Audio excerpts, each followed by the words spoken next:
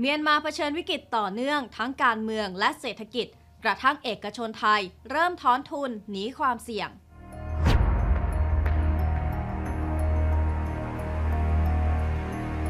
สถานการณ์ต่างๆ ตอนนี้ในเมียนมาค่ะกำลังสร้างความหนักใจให้กับบรรดานักลงทุนรวมถึงข่าวเริ่มเห็นภาพ เอกชนไทยถอนเงินลงทุนออกมาจากเมียนมาเพิ่มมากขึ้น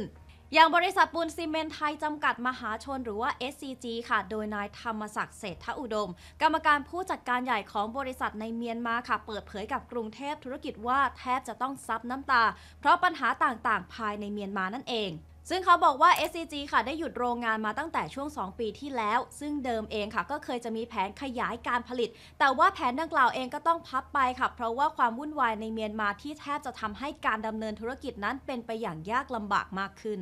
ด้านบริษัทโอสถสภาจำกัดมหาชนหรือว่า OSP แจ้งผ่านตลาดหลักทรัพย์แห่งประเทศไทยหรือตลทว่า เมื่อวันที่ 30 สิงหาคมที่ผ่านมาได้มีมติให้จำหน่ายเงินลงทุนใน MGE Group ซึ่งเป็นบริษัทร่วมค้าที่บริษัทย่อยของโอสถสภา มีสัดส่วนความเป็นเจ้าของ 35%ในบริษัทเมียนมาเกลเด้นอีเกิลจำกัดหรือว่า MGE และ 51.84%ในบริษัทเมียนมาโกลเด้นกลาสจำกัดหรือ MGG ซึ่งทางนางสาวรัติพรราชเจริญค่ะ Group Chief Financial Officer OSP ระบุว่าการจำหน่ายเงินลงทุนนี้ค่ะ ไม่เป็นผลกระทบ ซึ่งเป็นการปรับโครงสร้างตามแผนการดำเนินธุรกิจอยู่แล้วค่ะ โดยบริษัทโอสถสภามีการดำเนินธุรกิจเครื่องดื่มในเมียนมา และนางสาวรัติพรยังระบุว่าไม่กระทบต่อการดำเนินธุรกิจอย่างแน่นอน นอกจากนี้ยังมีอีกหลายบริษัทค่ะที่มีการยกเลิกธุรกิจ และถอนเงินการลงทุนจากเมียนมา ไม่ว่าจะเป็น TPBI ที่มีการอนุมัติให้ยกเลิกและชำระบัญชีบริษัทย่อย อย่าง TPBI and Myanmar Star Company Limited ธุรกิจผลิตและจำหน่ายบรรจุภัณฑ์พลาสติกทั่วไป บริษัท General Engineering จำกัดมหาชนหรือ GEL ที่มีการอนุมัติยกเลิกเงินลงทุน 25%ในกิจการร่วมค้า Wisdom Tree Investment S PTE Limited และ Milcon Tiha GEL Limited บริษัท General Engineering จำกัดมหาชนหรือ GEL มีการอนุมัติยกเลิกเงินลงทุน 45%ในกิจการร่วมค้า Wisdom Tree Investment S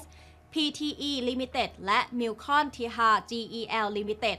บริษัทกลางปี International จำกัดมหาชนหรือ GPI ที่มีมติยกเลิกกิจการของบริษัทย่อยคือ GPI Myanmar Company Limited ซึ่งเป็นธุรกิจการจัดแสดงสินค้าในเมียนมา ด้วยทุนจดทะเบียน 50,000 ดอลลาร์โดยบริษัทถือหุ้น 100%เนื่องจากปัจจุบันไม่ได้ประกอบกิจการทางการค้าแล้ว